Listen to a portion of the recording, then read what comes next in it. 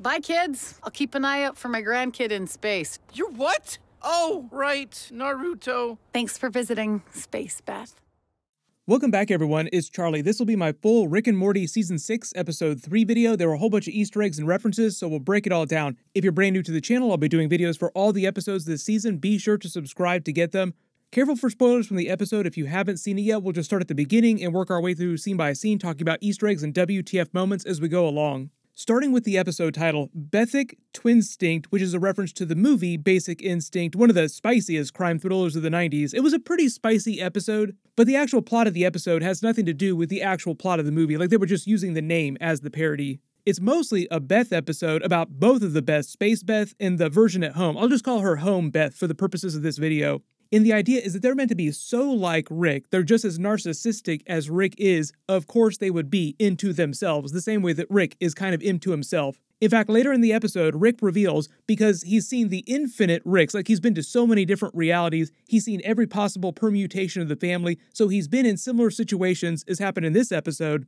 But also, he himself has forgotten the ice cream, which is a reference to him getting it on with other versions of Ricks from other realities before like it's Rick, so he's literally done and seen every possible thing, so he has contingency plans for everything, which is why he has the backup ice cream in his little freezer there. Which is also why he aggressively does not care what they actually do during the episode. Like, I don't care what you do, but it's going to get really difficult if you keep lying to the family about this. So basically, they use the episode to do a deep dive in Beth's personality, and it's mostly about Home Beth because Space Beth did leave, did explore her potential but Home Beth did not. So that's kind of what she does during this episode, like kind of explore what she's capable of. Which they make a reference to at the end of the episode as well when Jerry flashes back and his friend is like, dude, don't do it. She's too hardcore for you. She's gonna break you. Which she kind of does briefly at the end of the episode when he puts himself into that special shell. The way the writers talked about the Beths in the episode is they were meant to feel kind of like young versions of Rick. So Rick kind of went through a similar arc exploring his potential when he first set off to find Prime Rick, way earlier in his timeline. We've seen some of his early adventures, like we've seen him get crazy with some of the other Ricks before, but he always implies stuff like this. Like there are thousands and thousands of adventures that they'll probably never have time to actually show us on screen. There's so many of them. Maybe if Rick and Morty really does go like 100 seasons. So the Beths get kind of like a speed run version of Rick's complete arc to where he is in present day. I don't know how many episodes they plan on having Space Beth in this season, but the way she leaves at the end of the episode makes it sound like she won't be back for a while. And if they do reference their little three way thing that they have going on between them again in future episodes, it'll probably be more as a joke, the same way that they make a joke referencing Naruto, Morty, and Summer's giant space baby. Like, remember the time that the two of you had a baby together? That's still a thing out there floating around. Maybe it'll come back someday. During the cold open, we find out it's the Thanksgiving episode. Space Beth brought Morty like the brand new XL Pooplickian game console. They use it for a bunch of video game parodies. Turkey Rick is meant to be a reference to the US president pardoning him and Morty again for crimes that they may have committed the previous year. During the season 5 Thanksgiving episode, they revealed that Rick has been using this trick for years to pardon all of his crimes that he commits every single year. They reference Rick's lack of portals again. I don't know how long that's going to last, but eventually he'll probably fix it. Rick reveals currently he started changing his clothes using something similar to the nanites like Black Panther and Iron Man use because he doesn't have portals anymore. Previously in episode 1, they made a joke about him using portals to travel to other realities and steal clean pairs of clothes from alternate reality versions of Rick, rather than do laundry with his own clothes. Jerry's whole toast about how badly he needs Beth just to continue living is just more to highlight how much home Beth has been ignoring her own potential just because the family's been holding her down this whole time, kind of. Like she's had no time to explore herself, and that's basically what this episode is, is Space Beth coming to remind her that, and they explore, literally and metaphorically, themselves. Like they go full Loki. Even though they're clones, you could make the Loki reference like Loki getting it on with a version of himself from another timeline. Loki would be proud of this episode. Space Beth reveals her spaceship is like a TARDIS, bigger on the inside, so it's a flying house basically. She's got a ton of Predator weapons in there, apparently, too. When she says Rick calls it a hack, that's a reference to Dan Harmon and Justin Roiland saying that Rick is meant to feel kind of like a parody of Doctor Who, mixed with Doc Brown from Back to the Future. The Venusian wine getting them buzzed is what pushes them over the edge to go full Loki with themselves, which is why Rick hides it at the end of the episode, like he believes that this is the true reason why this happened. And if you don't speak French, the Venusian language that they start speaking is basically real life French. The whole joke here is that Sarah Chalke, who voices Beth, can actually speak fluent French, so they just let her have fun with that in this episode. The song that she sings in French is the Major General's song from the Gilbert and Sullivan comic opera Pirates of Penzance, so Beth is apparently also a big theater nerd on top of everything else. That all the video game parodies are mostly meant to be jokes about the poor mechanics of games just in general, and also jokes about how lame the games would be if they were hyper realistic. Like the Asteroids game is based on the real life Asteroids game, but the joke being that what if it were real, you wouldn't see any asteroids, you'd be traveling through the vacuum of space for forever just to try to find something. And that's why the game has Morty recorded the message, because he would really starve if it were real life. The controllers that Rick later tries to reverse engineer seem like they're based on like a combination of PlayStation controllers and Super Nintendo controllers. When Summer finally catches both the Beths, she freaks out. The energy drink that she starts guzzling is called battery acid. It looks kind of like monster energy, which is also a joke about how most energy drinks aren't much better for you than actually drinking battery acid. But please do not drink battery acid.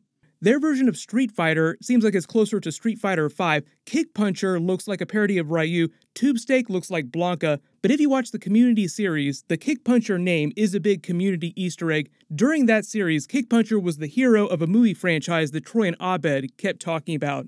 Tube Steak's pretty obvious reference, that's just a reference to your dong.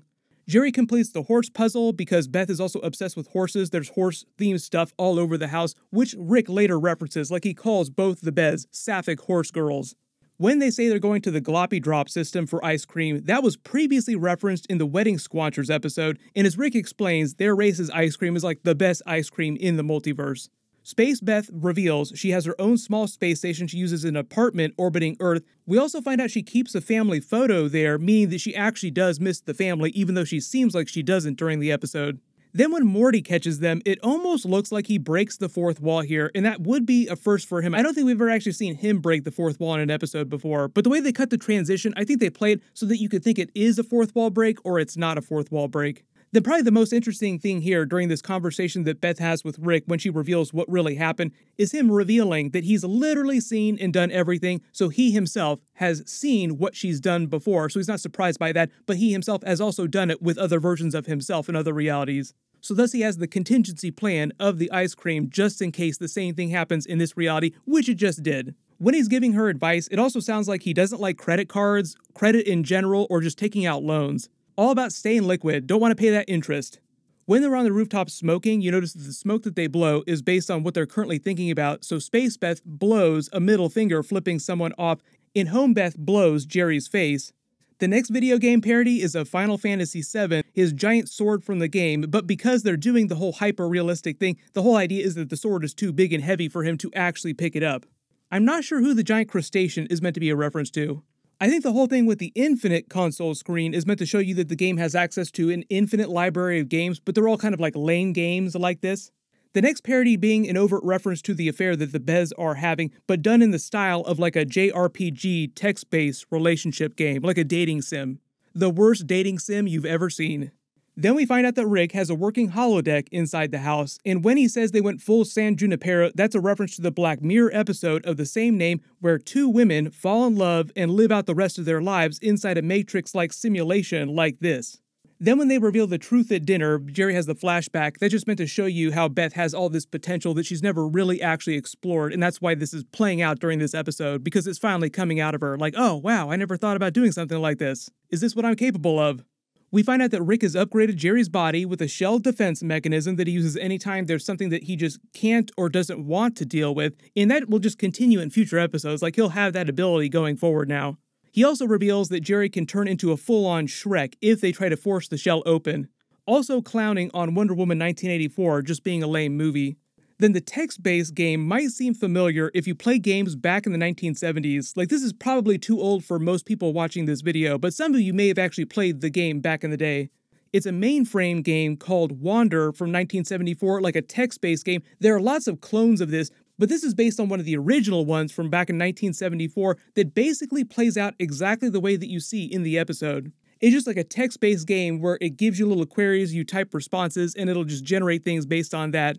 The joke about the vampire ending in the clearing is just a joke about people having to play the real version of the game back in the day with similar circumstances, like weird, crazy stuff would happen, and because it's just text, you wouldn't have warning of what might happen next. It almost seems like Morty breaks the fourth wall again, like almost breaks the fourth wall, but not quite, when he references the fact that they're in a television show trope of kids and sitcoms that never age like The Simpsons. So, like, how many times have we done this Thanksgiving before? How old are we? This is the memory device from Morty's Mind Blowers that they want Rick to use. He makes an Eternal Sunshine reference because in that movie, Jim Carrey's character wanted all history of his relationship and his love of Kate Winslet's character taken from his mind. The multiplicity reference is to the Michael Keaton movie where he clones himself, implying, like the joke, is that the clones got it on with themselves during that movie. And like I mentioned earlier, when he says the two of them are going to attack him later when the memory wipe fails, he's actually talking from experience because, as he said, he's seen it all. So he's been in scenarios where that's happened, where it hasn't worked and they've attacked him. Which is why he goes through this whole thing so unsurprised by every turn, like, yeah, yeah, whatever, let's get on with this. Jerry apparently reveals he has a weird little junk, like he just seems fixated on it and it just comes out during their argument here, like, wow, you seem like you've been thinking about this for a long time. And when Summer referenced getting themselves another Jerry, they actually literally just did that in episode one, or actually kind of the reverse of that, like they found that they'd had a different Jerry this whole time and went back to get the original one. The way the writers talked about the weird three way thing they have going on at the end of the episode is that they could always reference it in future episodes, like it could potentially become a thing, but at most, I think they'll just use it for comedy, like they'll reference it in funny ways in future episodes, the same way that they make the joke about the giant Naruto baby at the end of this episode. Like, oh yeah, that thing is still out there. Remember, we did that once upon a time a little while ago. In the way they play Space Beth leaving, this sounds like it's going to be the last episode we'll see her in for a while. She might come back before the end of this season, but like I think it's going to be a little while. The lesson Rick is referencing when he says he also learned something this week is that he shouldn't leave the Venusian wine out because he blames that on everything that happened during the episode and stows it in that hidden cabinet. Also, zoom and enhance in the background here. There's this freaky little tiny Morty stuck inside the bottle of liquor like a Morty tequila worm or something. His eyes are closed, so I'm assuming he's dead. Beneath it, there's a Meeseeks box, and next to it is a container that looks like a hairy ball sack. So you can let me know in the comments, what do you think that container is for? Like, what does he use that for? In the post credit scene, they reveal that Jerry or other Jerrys, multiple Jerrys, visit the Jerryboree daycare, which we just saw in episode 1, to get it on with themselves, sometimes in really weird ways. So, like as weird as Beth got in this episode, Jerry is just as weird. But if you spotted any other Easter eggs and references in the episode that I didn't mention in the video, just write them below in the comments. In my full episode 4 video, we'll post next week after they release it. Big reminder that the Star Wars Andor episodes are starting this week. Episodes 1 through 3 are dropping tomorrow. My video for that will post on Wednesday, so make sure to enable alerts for my channel so you don't miss that. Everyone click here for my House of the Dragon episode 6 trailer video, and click here for all my Rick and Morty episode videos. Thank you so much for watching, everyone stay safe, and I'll see you guys in the next one.